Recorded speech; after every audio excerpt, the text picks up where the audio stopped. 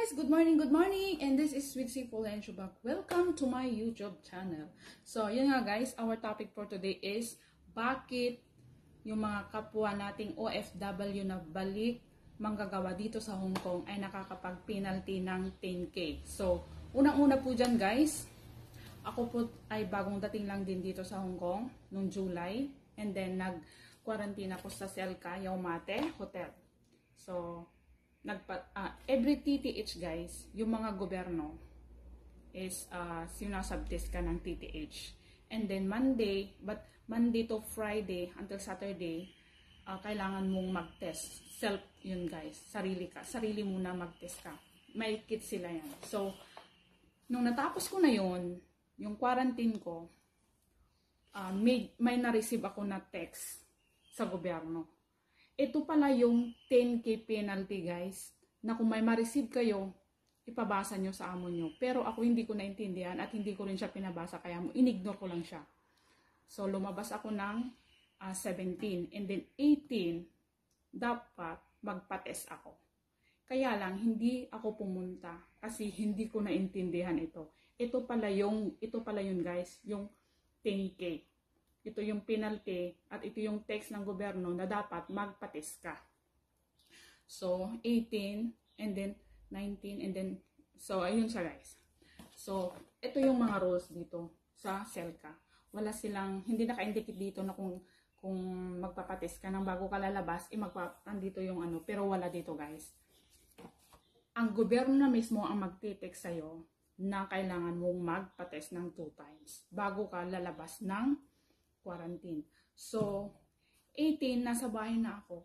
Ay, 17, lumabas na ako. And then, 18, kailangan magpatis ako. Hindi nga ako, guys, pumunta. So, yun nga.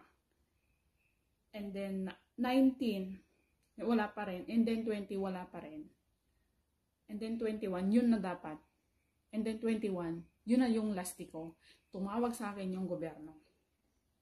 Ang sabi sa akin, Hello, this is Sweet C. Polencio, sabi ko. Ay sabi nila, yes sir, sabi ko. Oh, bakit hindi ka nagpates?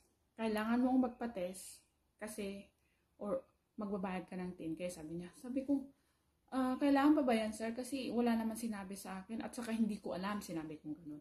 No, you need to go right now.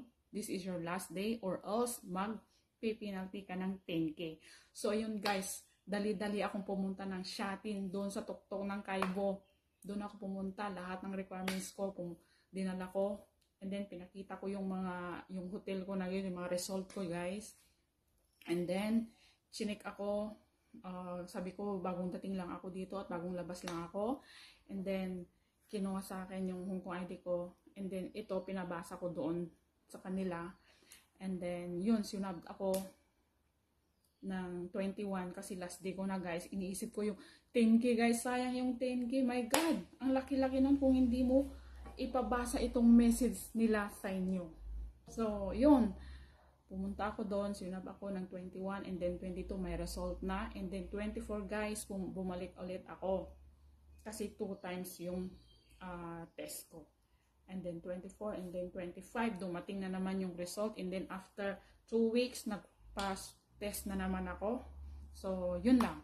So, guys, kung may ma-text kayo na ma-receive na ganito, galing sa gobyerno, hindi Chinese siya, hindi nyo maintindihan, ipabasa nyo sa amo nyo dahil ito yung uh, ah, 10k na penalty kung hindi nyo sundin ito.